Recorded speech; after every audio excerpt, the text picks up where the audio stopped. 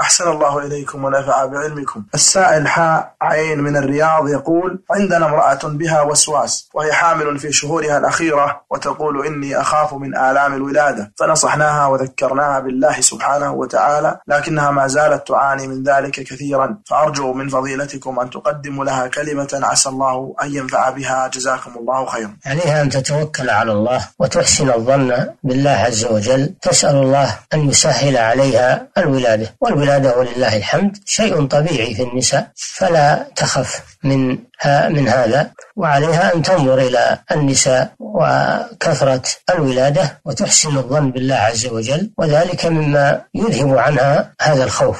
وكذلك عليها بالإكثار من ذكر الله عز وجل والأوراد الشرعية توكل على الله وحسن الظن بالله عز وجل. نعم.